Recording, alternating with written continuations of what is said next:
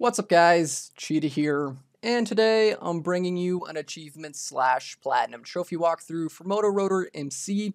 This game is published by Ratalaika Games, and it's developed by Shinyuden and Masaya, and you can pick the game up on February 25th for a price of $6.99, and to get the full completion, it'll only take you around 10 to 15 minutes. We just have to play all 25 of the different courses, which is very easy. We just have to load each of them up one time, and the achievement slash trophies are automatically gonna pop. So I'm gonna show you the fastest way to get your completion here. You wanna go ahead and start up the game, and you can skip this little cutscene here. And then once you're on the main menu, you wanna choose time attack.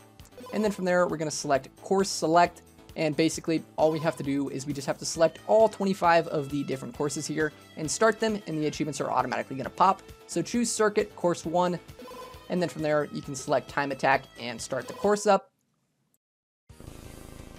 And you're going to see here, once you start up the course, your achievement slash trophy for playing the course should automatically pop. If it doesn't unlock right away, you can just drive around a little bit and it should pop. And then once you have the achievement, we can actually just pause our game using the select button or back.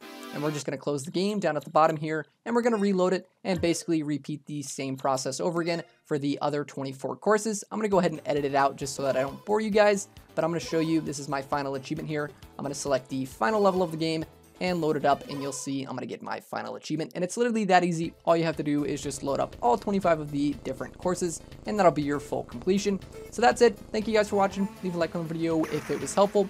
And please consider subscribing for more guides just like this if you haven't already.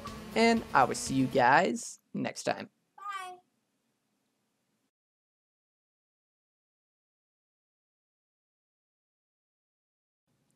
I'd also like to give a special shout out to my Patreon supporters, TschanSchpange1, TimG84, Kursed Souls, and Phazo Prime Pirate, and I'd also like to thank my first legend supporter, Niku no Nioi. But other than that, thank you guys for watching, and I'll see you guys next time.